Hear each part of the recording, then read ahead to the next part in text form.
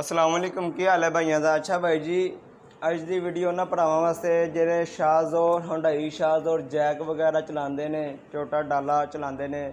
ਤੇ ਕਹਿੰਦੇ ਨੇ ਸਾਨੂੰ ਟੂਪਲੈਸ ਨਹੀਂ, ਰਾਸ ਆਉਂਦੇ, ਸਾਨੂੰ ਟੂਪਲੇ ਹੀ ਰਾਸ ਆਉਂਦੇ ਨੇ, ਉਹਨਾਂ ਵਾਸਤੇ ਵੀ ਆਪਸ਼ਨ ਹੈਗੀ ਏ।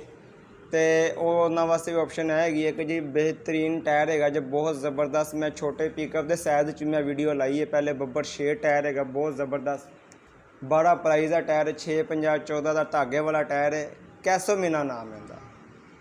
ਮੇਡ ਇਨ ਵੀਅਤਨਾਮ ਹੈ ਜੈਪਨੀ ਸਟੈਂਡਰਡ ਟਾਇਰ ਹੈ ਵਾਰੰਟੀ ਵਾਲਾ ਟਾਇਰ ਹੈ ਜਿਸ ਭਾਈ ਨੂੰ ਪਸੰਦ ਆਏ ਇਹ ਤਸਵੀਰਾਂ ਦਿੱਤੀਆਂ ਜਾ ਰਹੀਆਂ ਨੇ ਜਿਸ ਭਾਈ ਨੂੰ ਪਸੰਦ ਆਏ ਲੈਣਾ ਚਾਹਵੇ ਵੀਡੀਓ ਦੇ ਐਂਡ ਦਾ ਨੰਬਰ ਦਿੱਤਾ ਹੋਇਆ ਉਸ ਨੰਬਰ ਤੇ ਰਾਬਤਾ ਕਰਕੇ ਤੇ ਲੈ ਸਕਦਾ ਜੀ ਬਾਕੀ ਆਪਣਾ ਖਿਆਲ ਰੱਖਣਾ ਜੀ ਅੱਲਾ